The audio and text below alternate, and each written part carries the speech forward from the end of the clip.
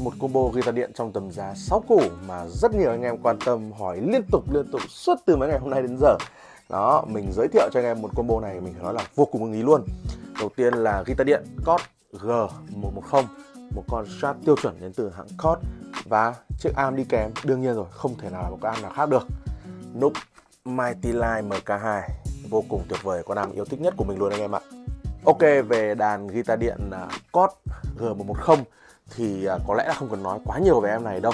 Đây là một con đàn à, với mức giá tầm trung tiêu chuẩn của hãng Cod mà mình cảm thấy là nó vô cùng là tuyệt vời luôn. Đấy đầu tiên chúng ta đi về ngoại hình.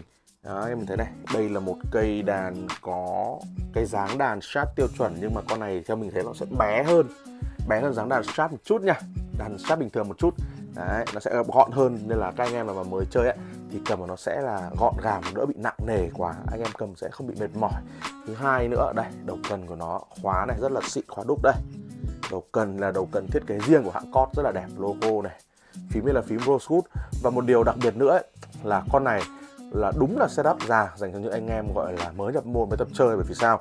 Action từ hãng setup ra anh em nhìn xem đã cực cực kỳ là thấp rồi. Bấm nó rất là thấp luôn tức là anh em bấm sẽ vô cùng nhẹ tay ben thì một phát lên luôn. Mình ben cử mình ben có bị quá tay ấy ben phát lên một cung rưỡi luôn đấy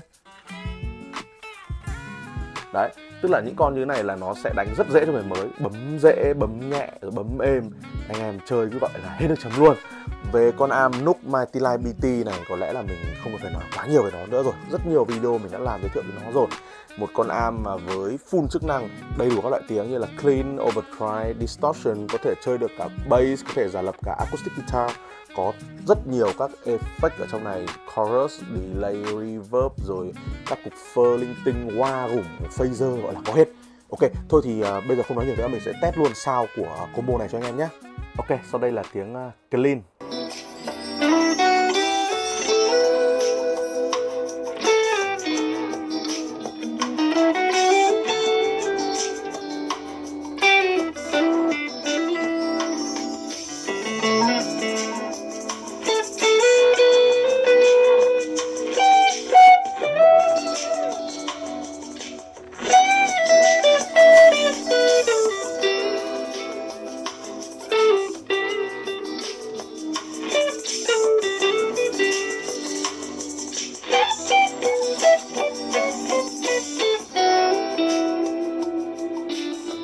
Và sau đây chính là tiếng solo distortion.